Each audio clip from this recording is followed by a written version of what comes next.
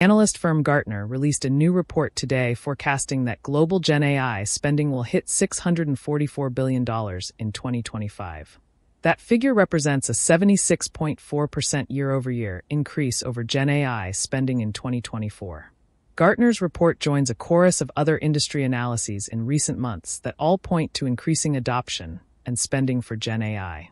Spending has been growing by 130%, according to research conducted by AI at Wharton, a research center at the Wharton School of the University of Pennsylvania. Deloitte reported that 74% of enterprises have already met or exceeded Gen AI initiatives.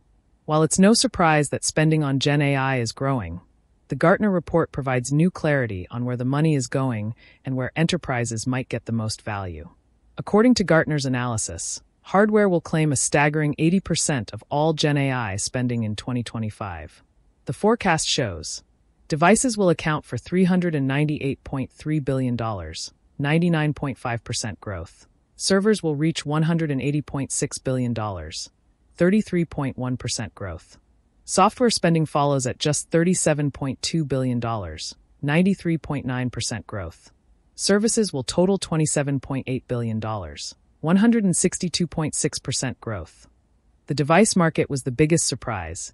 It is the market most driven by the supply side rather than the demand side, John Lovelock, distinguished VP analyst at Gartner, told VentureBeat. Consumers and enterprises are not seeking AI enabled devices, but manufacturers are producing them and selling them. By 2027, it will be almost impossible to buy a PC that is not AI enabled.